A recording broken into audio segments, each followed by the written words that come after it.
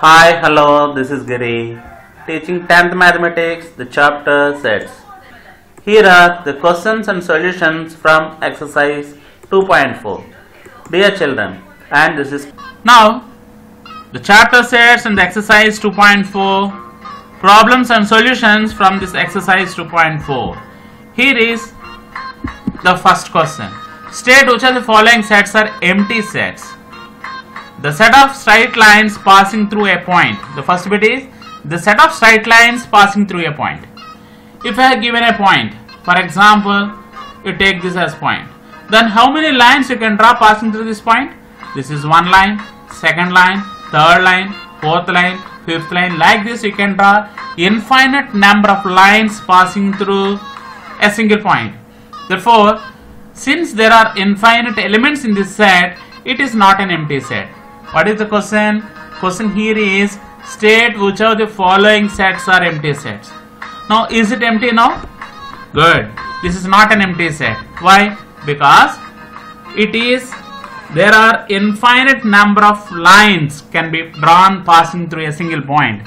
Therefore, which is a non-empty set and it is an infinite set too. Second bit.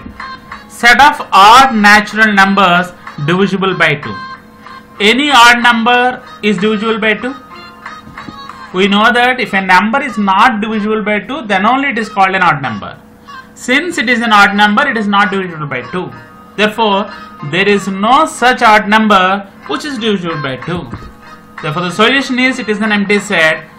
Number of odd numbers divisible by 2 is 0. That is, no odd number is divisible by 2. And third bit, x is such that x is a natural number and x is less than 5 and greater than 7. You see, here this is the set builder form. We have to write a natural number such that it should be less than 5 and at the same time it should be greater than 7. Here it is not or it is and. And means that number should satisfy both the conditions. Means the number should be less than 5 and at the same time it should be greater than 7. For example, if we take 4, 4 is less than 5 but it is not greater than 7. If we take 8, 8 is not less than 5 even though it is greater than 7. Therefore, you cannot write any number which is less than 5 and at the same time greater than 7. You cannot find any such number, therefore it is an empty set. No natural number satisfies the given condition.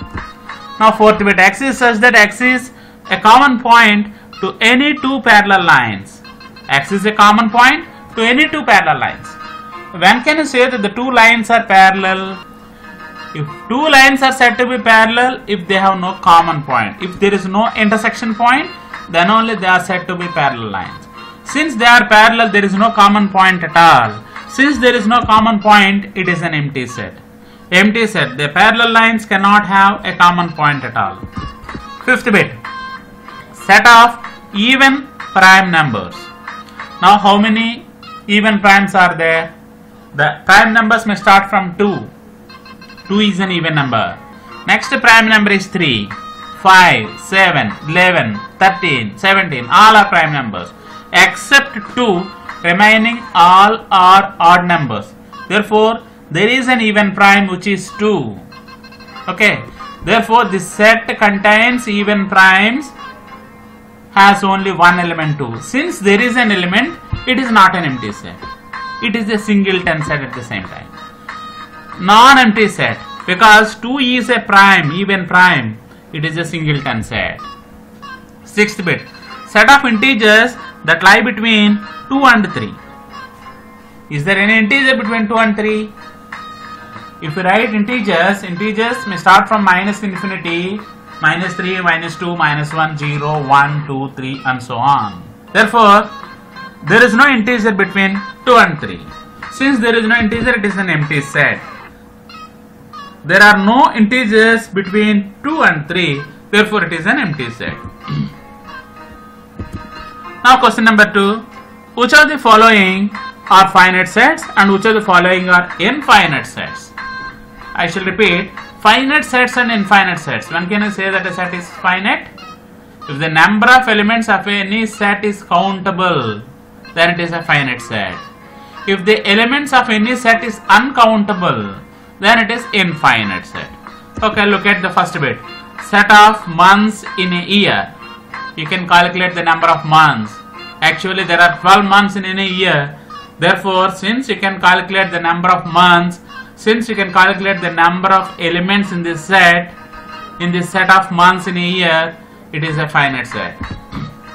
Second bit, set of 1, 2, 3, etc. 99 and 100. You can count how many elements are there in this set. There are 100 numbers. Therefore, you can count the number of elements in this set and it is a finite set. And third bit, set of primes less than 99.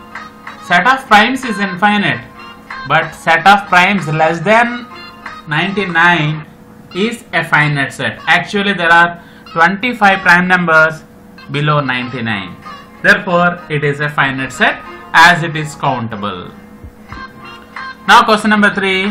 Which are the following are finite sets and which are infinite sets?